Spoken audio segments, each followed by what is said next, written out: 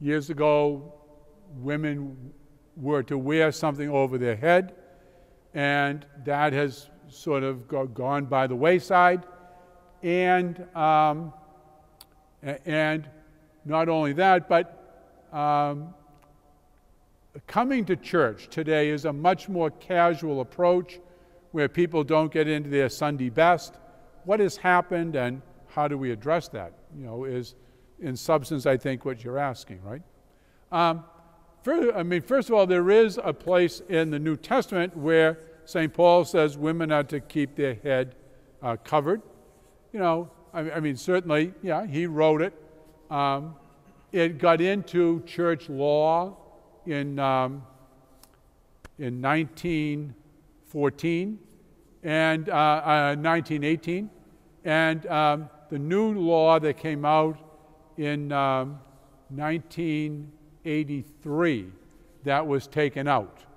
You know, it just, you know, but it already had fell, fallen into disuse just from lack of, you know, you know, uh, seeing whatever it was, you know, the value of it. I think part of what, you know, you're seeing at church is because our society has become much more casual.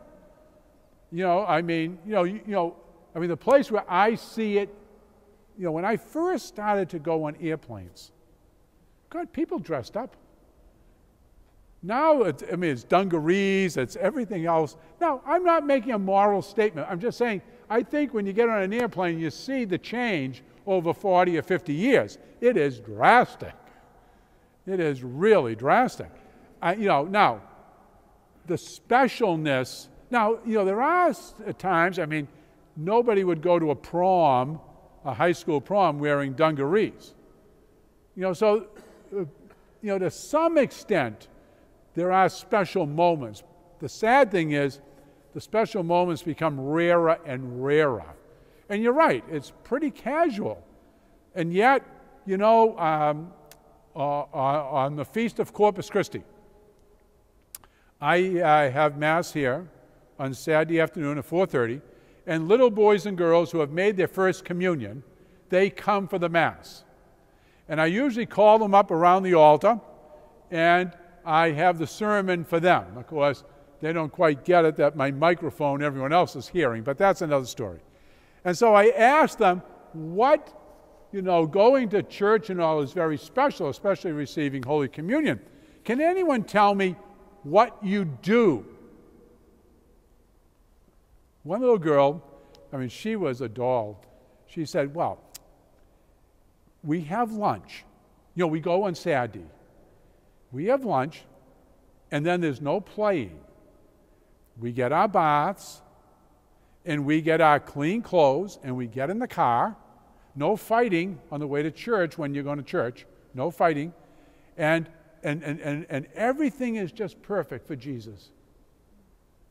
Now, she was being brought up in a family where, you know, you just didn't stop, you know, raking the leaves and getting the car to go. I mean, you know, at their home, there was a little ritual, and she shared it for all of us. So, to some extent, you know, it, you know, it's, it, you know, it's not the kids. You know, it's the casualness that has permeated all of our society. You know, and I mean, like, you know, we have a, you know, a, uh, you know, a policy, you know, when a person is lecturing or, um, you know, an extraordinary minister, how they're to, you know, dress. Um, uh, you know, I mean, should we be saying more? In Europe, they do it because uh, of the, you know, so many people are tourists. And that's why they have tried to hold that back because, uh, you know, it's even more um, more of an issue there than it would be here. And you might say, well, I mean, that's hard to believe, but, you know, like to try to get into St. Peter's in Rome. I mean, a lot of people have turned away. Yeah. Any, uh, yes, please. Part, part what... You know, uh, let me, you know, I mean, thank you for your intervention. Um, the church had never had an experience like the Second Vatican Council and I say that in many, many senses. First of all, it was truly a giant event And with modern communications, people were getting information in, you know, inst- you know, uh, instantly. But there was no one there to interpret it. If you take the prior 20 councils and you take all that they wrote, there was more in the Second Vatican Council. So the sheer volume of what they tried to wrap their arms around was, you know, enormous. They tried, I mean, people were enthusiastic in the 60s. People wanted it to be implemented. And you're right, it was not implemented well. It was too big to be implemented well. You don't have enough knowledgeable people to carry the ball. You really didn't. I mean, you'd go to Mass on Sunday and the priest would be up there, we're going to do something different today. We got the letter from Chancery. So look at your St. Joseph Missal, turn to this page, and that's what we're going to do today that we didn't do yesterday. I mean, really, it, it was beyond handling. So it took some time for that, uh, you know, to get, um, you know, kind of straightened out. Also, the time before Vatican II, you know, for many folk, was a church that was pretty formal and rigid. And Vatican II, you know, really, when you look at it, it isn't wild but it opened up some other opportunities. And so, therefore, whenever you have a shift historically, you go from one extreme to another.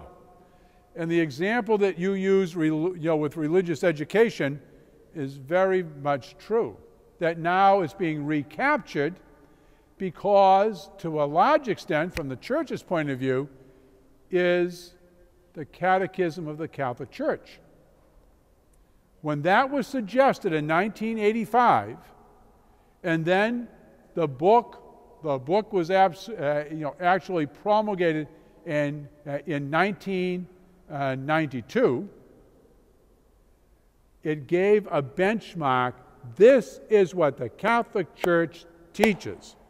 Period. Over and done. That's right. And, and that became, see, when they did that, that was not you know, I mean, they didn't expect you to read it. You know, they didn't. No, I mean, it's good that people have read, you know, reading it, but that wasn't the audience for which they, for which they did it. The audience was for bishops, who would then evaluate catechisms as to their suitability to be used with children and adults. That's what it was all about. They've only done two catechisms in the history of the church. Rome's only done two. One was in 1570, and one was in our lifetime. They become the foundational work upon which catechisms that are going to be in the parishes have to be in conformity with. And so here in the United States, you know, you know, bishops and priests were assembled and they read what Sadlier put out. And they critiqued it. And you had to write it again. I was one of the priests that was called forth in the 90s to be one of the reviewers of catechisms. And they were rewritten because the bishops made a commitment that only catechisms that were judged in conformity with the Catechism of the Catholic Church would be used in the United States. So once you put that out there, then they had to change their books to be in harmony with what the Catholic Church teaches. It was a gigantic job. You know, I mean, if you can imagine, you get, you know, a grammar school series, one through eight. So you get the eight books, and you get the eight workbooks, and you get the eight teacher manuals. And when you come up for a little air after three and a half months of reading all this, then you send in your multi page critique. And there were groups of five, you know, bishops and priests who worked together. You know, so I mean, the church, it took them a time to, you know, to get around to it, but they needed the catechism because the last one was in 1570.